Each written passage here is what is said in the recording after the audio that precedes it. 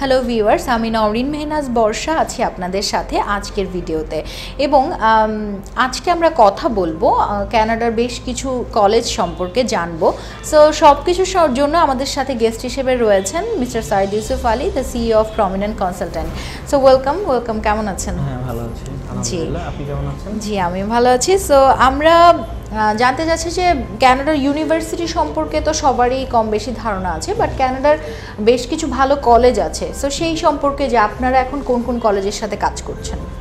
Basically ইউনিভার্সিটির পাশাপাশি আমাদের স্টুডেন্টের জন্য কলেজ একটা গুড অপশন জি। লাইক আমরা যে কলেজগুলো নিয়ে কাজ করি মোস্ট অফ দেম আমি বলব যে all of them R government colleges like আমাদের যদি প্রভিন্স ওয়াইজ চিন্তা করি আমাদের অন্টারিওতে বেশ কিছু কলেজ আছে যেগুলো যেমন ক্যানাডার college Georgian college Fanshawe college Saint Clair college then some other colleges we have also পাশাপাশি আমাদের ব্রিটিশ কলম্বিয়াতে আছে যেমন কলম্বিয়া কলেজ আমাদের North Island college then Douglas college so we have varieties of colleges from different province আচ্ছা জি।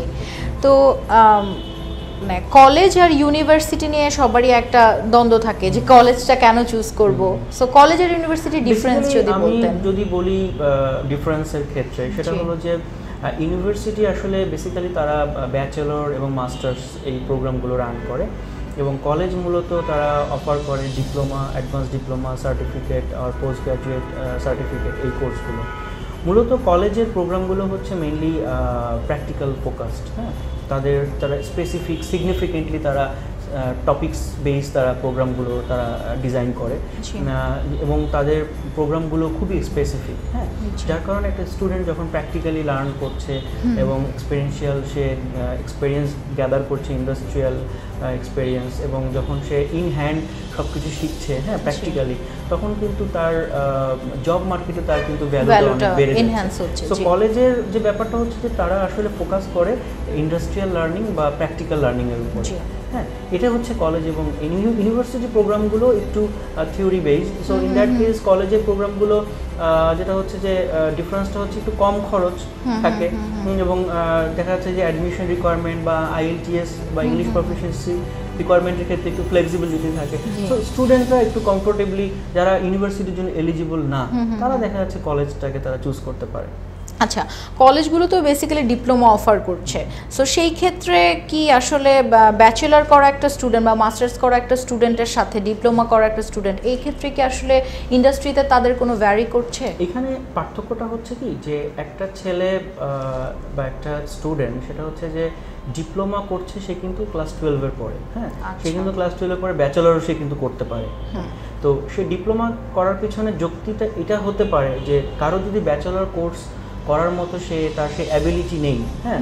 সেটা তার শিক্ষাগত যোগ্যতা দিক থেকে হতে পারে তার ইংলিশ প্রফিসিয়েন্সির ক্ষেত্রে হতে পারে বা তার ফাইন্যান্সিয়ালি হতে পারে যে তার বাজেট কভার করছে না। তো সেই ক্ষেত্রে সে ডিপ্লোমা করতে পারে। ডিপ্লোমাটা কিন্তু যে সে দুই বছর যে ডিপ্লোমা করবে ইটস নট অ্যাকচুয়ালি যে আমি এটা শুধু শুধু করছি হ্যাঁ? তার দুই বছর করার পরে কিন্তু সে চাইলে থার্ড ইয়ারে ব্যাচেলরে যে কোনো ভার্সিটিতে সে জয়েন করতে পারবে। অথবা তার জন্য আরেকটা অপশন আছে যে সে দুই বছর পরে কারণ ক্যানাডা নিয়ম অনুযায়ী সে দুই বছর স্টাডি থাকলেই সে কিন্তু ফুল টাইম তিন বছরের ওয়ার্ক পারমিট পাবে। এরপরে সে কিন্তু পিয়ারে চলে আসতে পারে।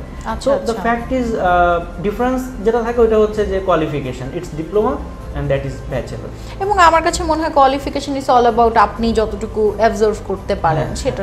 ডেফিনেটলি আচ্ছা তো আপনারা তো কলেজগুলো নিয়ে অনেক দিন ধরেই কাজ করছেন তো আপনার অভিজ্ঞতা থেকে কি এমন কখনো হয়েছে যে কলেজের ক্ষেত্রে একটা স্টুডেন্ট দাঁড়িয়েছে তার হয়তো ভিসা হয়নি বা ইউনিভার্সিটির ক্ষেত্রে ভিসা রেশিওটা ভালো বা কলেজের ক্ষেত্রে কম? এরকম কি কোনো সমস্যা হয়ে থাকে? না আমি পার্সোনালি এটা ফিল করি না। কেননা কারণ আমি যতদূর দেখেছি যে ইউনিভার্সিটি থেকেও যে একেবারে রিজেক্ট হয় না তা কিন্তু না।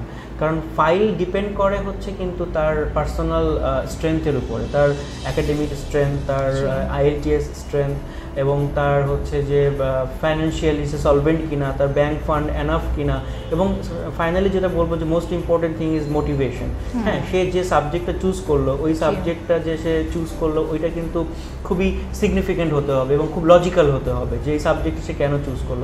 এখন তার সাবজেক্ট চয়েস যদি সুইটেবল না হয় তার যদি অন্যান্য সাইড ডেভেলপ না থাকে তাহলে কিন্তু আসলে এটা কোনো মানে মিন করে না যে আমি কলেজ হলেই আমি রিজেক্ট হব। কারণ আমাদের কিন্তু এই সেশনেও কিন্তু কলেজে অনেকেই ভিসা পেয়েছে। হুম এবং কলেজের তারা অ্যাডমিশন রিকোয়ারমেন্ট ফুলফিল করে অ্যাডমিশন পেয়েছে এবং ফাইনালি কিন্তু ভিসার ক্ষেত্রে খুব একটা প্রবলেম হয়নি। কলেজে যেটা সুবিধাটা হলো কি যে ফিসটা কম সেক্ষেত্রে স্পন্সরশিপের ফান্ডটাও কম লাগে। আবার দেখা যাচ্ছে খুব দ্রুত কম সময়ের মধ্যে সে ডিগ্রিটা কমপ্লিট করে ফেলতে পারছে। সো যারা আমি বলব যে যাদের ইউনিভার্সিটি লেভেলে যাওয়ার যোগ্যতা আছে বা যাদের financially they are not they are they are not facing in trouble হ্যাঁ তাহলে তারা ব্যাচেলর করুক আই ডোন্ট মাইন্ড বাট তার কেউ যদি চাই যে আমার বাজেট কম আমি স্বল্প সময়ের মধ্যে ডিগ্রি পেতে চাই সেটেল হতে চাই তাহলে college can be the right choice আচ্ছা সেটেলমেন্টের কথাটা যখন আসলোই যে সবাই তো চায় যে পড়াশোনা করে কানাডার মতো একটা একটা কান্ট্রিতে আসলে সেটেল ডাউন হতে হ্যাঁ তো সেই ক্ষেত্রে আসলে পিআর এর উপরে কি কলেজের মানে কলেজ চুজ করলে কোনো এরকম আসলে এরকম ফ্যাক্ট নাই কারণ কলেজে পড়াশোনা শেষ করার পরে সেও কিন্তু ফুল টাইম ওয়ার্ক পারমিট পাচ্ছে। এবং ফুল টাইম ওয়ার্ক পারমিট পাওয়ার পরে দেন তার আসলে ওয়ার্ক তার যে ফুল টাইম ওয়ার্ক কোনো কোম্পানি তাকে জয়েন করতে হবে। এরপরে কিন্তু সে আস্তে আস্তে পিআর এর জন্য অ্যাপ্লাই করতে পারে। সো এটা আসলে পিআর এর ক্ষেত্রে কোনো নেগেটিভ ইফেক্ট করবে না। তো আমরা তো অনেকগুলো বিষয় একাধারে জানলাম কলেজগুলো সম্পর্কে। তো এর পরবর্তীতে আমি জানতে চাচ্ছিলাম যে কি কি এলিজিবিলিটি থাকা দরকার একটা স্টুডেন্টের স্টুডেন্টদের আমি যেটা বলব যে ডিপ্লোমার ক্ষেত্রে যারা ইন্টারমিডিয়েট বা ক্লাস টুয়েলভের পরে যারা যাবে ওদের ক্ষেত্রে যেটা হলো যে at least sixty percent marks তাদের প্রিভিয়াস এডুকেশনে থাকতে হবে। এবং আইএলটিএস রিকোয়ারমেন্টটা হচ্ছে overall five point five no band less than five or six হ্যাঁ কিছু কিছু কলেজ আবার সিক্সের নিচে ওরা অ্যালাউ করে না। এই আর যাদের কম থাকবে তারা ইএসএল দিয়ে আসতে পারবে। আর পোস্ট গ্রাজুয়েট ডিপ্লোমার ক্ষেত্রে যেটা পোস্ট গ্রাজুয়েশনের ক্ষেত্রে সেই ক্ষেত্রে সিক্স ওভারঅল আর সিক্স পয়েন্ট ফাইভ ওভারঅল পেলে ভালো হয়। আর একাডেমিক যে রেজাল্ট ওটা অবশ্যই সিক্সটি পার্সেন্ট থাকতে হবে। তো so these are the actually requirement so কয়টা ইনটেক আছে বা নেক্সট ইনটেক নেক্সট কবে? ইনটেক হচ্ছে আমাদের মূলত জানুয়ারি দু হাজার উনিশ এবং সেপ্টেম্বর দু হাজার উনিশ। কিছু কিছু কলেজে আমাদের মেতে ইনটেক আছে খুব অল্প কিছু সাবজেক্টে তো এখন আমরা মেনলি ফোকাস করছি জানুয়ারি দু হাজার উনিশের জন্য। ওকে সো যারা আসলে পরবর্তী ইনটেকটা ধরতে চাচ্ছে বা যারা চাচ্ছে এখানে অ্যাডমিশন নিতে তারা কি কি প্রস্তুতি এখন গ্রহণ করবে? যারা প্রস্তুতি নিতে যাচ্ছে তাদেরকে আমি বলব যে যারা আইএলটিএস এখনও করেনি তারা দ্রুত আইএলস পরীক্ষাটা দিন এবং আইএলস কোর্স আমাদের সাথে যোগাযোগ করুন। আপনার একাডেমিক ট্রান্সক্রিপ্ট সার্টিফিকেট এগুলো নিয়ে এবং আপনার স্পন্সরশিপের যে ফান্ডগুলো এগুলো আপনারা রেডি করুন আপনাদের এগুলো সব রেডি করতে হবে। যে যে ডকুমেন্টসগুলো লাগবে। প্রথমত সব কিছু নিয়ে আগে আমাদের অফিসে আসতে হবে। আমাদের অ্যাডভাইস পাওয়ার পরে দেন আপনারা আপনাদেরকে আমরা যেভাবে চেকলিস্ট দিয়ে দিব ওই অনুযায়ী আপনারা আপনাদের কাগজপত্রগুলো রেডি করবেন। আর জানুয়ারি ইনটেকের জন্য আসলে তাদেরকে অবশ্যই এই মাসের মধ্যে অ্যাপ্লিকেশন করার জন্য ট্রাই করতে হবে। আচ্ছা এই মাস বলতে আপনি September September by September eighteen G. Okay thank you so much আর যদি কোনো লাস্ট কোনো অ্যাডভাইস আপনার দেওয়ার থাকে স্টুডেন্টদের প্রতি? আমি যেটা বলব যে কলেজের ক্ষেত্রে এত নার্ভাস ফিল করার বা এত কনফিডেন্স লেস হওয়ার কোনো কারণ নেই। কারণ কলেজের ভিসার ক্ষেত্রে কোনো প্রবলেম নেই। আপনার যদি সাবজেক্ট চয়েস আপনার প্রোফাইল আপনার ইংলিশ প্রফিসিয়েন্সি সর্বোপরি যদি আপনার ফাইন্যান্সিয়াল সলভেন্সিটা ভালো থাকে নিশ্চয়ই আপনার ভিসা না হওয়ার কোনো কারণ নেই। আমরা আপনাদেরকে সার্বিক সহযোগিতা দেবো এ ব্যাপারে।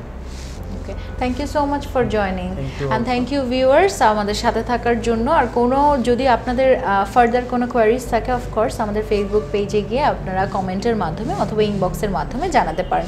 অথবা সরাসরি চলে আসতে পারেন প্রমিনেন্টের অফিসে ঠিকানা এবং ফোন নাম্বার ফেসবুকে দেওয়ার আছে। Thank you